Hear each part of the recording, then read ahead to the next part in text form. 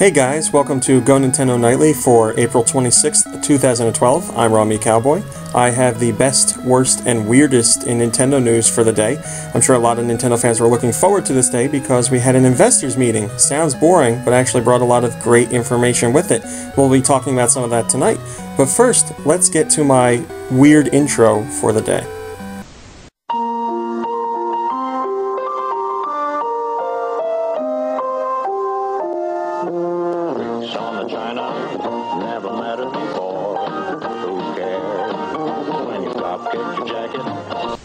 Mr. Belvedere, a sitcom that never got the credit it deserved, or never got the credit I felt it deserved. Uh, I'm glad I could do it right by showing it in this crappy web show that Mr. Belvedere will never see because he's dead. Anyway, let's talk about the best Nintendo news of the day, shall we? As you've probably guessed, my favorite news of the day came from the investors meeting, which happened late in the day, but it still happened on the 26th, so it counts. Uh, I'm going to go through this by system to make it easier, so we're going to start with the system that isn't even out yet, the Wii U. I think we all know Nintendo well enough that we didn't expect to get any major Wii U information from this investors meeting, but we did get some juicy details that I was surprised to hear. Uh, I'm going to run down the list while you look at some of that beautiful Wii U footage. Wii U will launch this year in Japan, the United States, Europe, and Australia. They'll give more details on that later. Uh, if you're looking for the price or the launch date of the Wii U, you're not going to get that at E3. Anyone that's been following Nintendo for a while now knows that that's how Nintendo operates. They show us some software at E3, then they have another event separately later on to reveal the price point and the launch date that's how it worked with uh, the 3DS, and that's how it worked for the Wii before. I can actually, it's sad, I can't remember the 3DS event, but I can remember going to the Wii event where they announced Wii Sports was going to have bowling in it, and they also announced the price of the Wii U. So uh, I wasn't too shocked by that. I know some people are upset, but still, Wii U at E3 is going to show us the games, which are the most important part. Uh, w- speaking of Wii Sports, Nintendo wants to find a Wii Sports equivalent for the Wii U, but they're not just going to port Wii Sports to the Wii U. So I don't know if we can take that as an indication of some software they're working on for the Wii U or just an idea. But having a game that really sells what the system does at launch will be a great idea. So maybe we'll see some of that at E3. On top of all that, Nintendo has admitted that they need to consider social gameplay with the Wii U. How are they going to tackle that? Again, they're not talking about it right now. Perhaps they'll discuss it at E3. Finally, Nintendo says that they've been humbled by how the 3DS launch went and they've learned a very harsh lesson. And that means good things for the Wii U. They say there are going to be rich titles for the Wii U right out the gate instead of making us wait. So, if you weren't too happy with the 3DS software launch, you should be much more excited about what the Wii U is going to have early on in its life. What I consider to be the best of the best of the Wii U news is the fact that Nintendo confirmed that there will be digital titles available for the Wii U when the system launches. Some of these could very well be retail titles that are made available digitally through the Wii U. Uh, what the Wii U shop is going to be called and all that, we don't know, but just the fact that Nintendo is embracing online like this is really big. This is something we've been waiting to see Nintendo do, and now they're finally coming around to it. Of course, while we're really excited about Wii U talk, we don't want to ignore what was talked about with the 3DS, and there was a pretty big bombshell in there as well. Believe it or not, New Super Mario Bros. 2 is going to be not only a retail title for the 3DS, but it's going to be a digital title as well. That means you'll be able to take your pick. Do you want the box copy, or do you want to download it as soon as it comes out? Oddly enough, a few days ago, we posted up a story uh, concerning Nintendo's online press room. In that press room, there was a listing for New Super Mario Bros. 2, and it showed us the game being both retail and eShop. When I emailed Nintendo about that, they gave me a statement saying it was a mistake. I guess the mistake was they let the news out too early. The other big bit of 3DS news involves digital titles in general and how you'll be able to purchase digital codes to get these games at GameStop or other retailers. So you would go to a retailer, and while you were there, you could purchase a download code that would let you enter the eShop, put in this code, and get a game. This would work out well for uh, people that want to have the convenience, as well as younger kids that could go into a store and tell their parents they want a certain game while they're there. They could talk to the GameStop employee, pay for the code, and then bring the code home with them and let the kid download it that way. That way, your kid doesn't have to ask for your credit card, and then your kid doesn't have to spend a million dollars on your credit card, and you're wondering where all this happened. So, we might not want to use it, but there are people out there that'll think this is a good idea.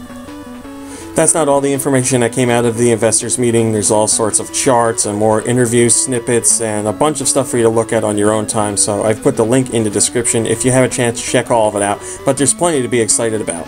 Now let me ruin that excitement by taking you to what I think is the worst story of the day.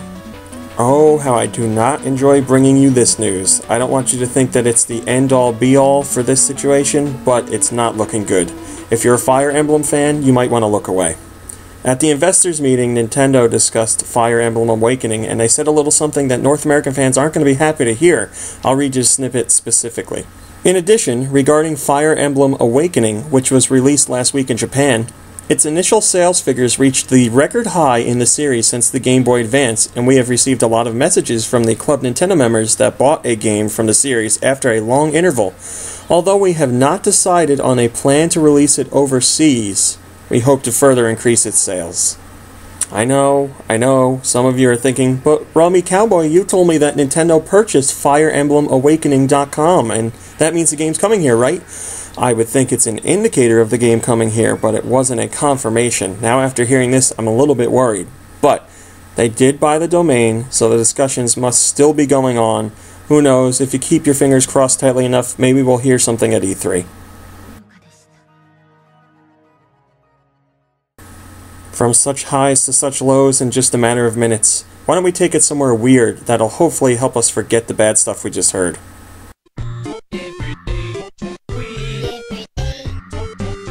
While I don't endorse what Snoop Dogg is telling you to do, I do have to say he's got a lovely singing voice. Uh, he's chosen a track from Mutant Mudds to rap over, and the song got the approval of Jools Watsham over at Renegade Kid. So if he likes the song, you gotta like it too. Make sure you check out the whole video cause it's really weird.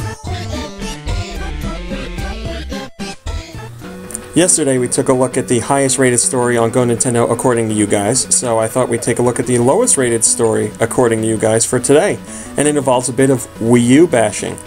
Dave Neal is a reporter at the technology news site The Inquirer, and he had something to say about the Wii U. He said, It will have to come bursting out of a box with a lot of fireworks if it's going to make an impact. Not that bad, you know, we've heard a lot worse from other analysts, but I think this is the bit that really got you guys. His friend Jeff Ryan, an author, said this about Nintendo. This is just in case if the Wii U fails. Quote, they always have a break glass in case of emergency option. They could always make games for other consoles. If they started to make Zelda games for the PS3 and Mario games for the Xbox, that would keep them in business for another 30 years. Yeah, because, you know, that's what Nintendo has said. They said, well, if our business falls apart, we'll just stop making hardware and we'll make games for other systems. Oh, wait, Nintendo said the exact opposite plenty of times. We've heard Iwata say, if our hardware doesn't sell, then we are not going to make video games anymore. We're not bringing our content anywhere else. But, you know, if another president takes over the company someday, they could say, yeah, let's just start making crappy hardware, and then when nobody buys that, we'll bring our games to other platforms, and everybody will be happy, right? Right? This time around, I'll be reading one comment from you guys because it's a rather lengthy one and they got the top spot, so I'll jump in. This comment comes from Mike in Television, and he says, Going third party worked so well for Sega. That is what analysts suggested pre Wii. They completely ignore the facts that Sony has been awash in corporate red ink for four years and that Microsoft lost money on gaming last year, too. It appears to be the standard prejudice against something that is not high end tech. What do you guys think? Do you agree with Mike in Television? Head into the comment section of this story, which you can find in the description of this video, and let them know. I think that's going to do it for the April 26th edition of Go Nintendo Nightly. I hope you enjoyed the news. I hope you had fun during the investors meeting. And I look forward to hearing what you guys have to say about tomorrow's stories. I'll be keeping an eye out for what you say, and you never know, you could end up in the next episode. I'm going to end tonight's show with a little bit of a line from someone that just recently left us. And for all of us, we'd like to thank you for making us a part of your day for the past several years on the $25,000 pyramid. For now, Dick Clark. So long.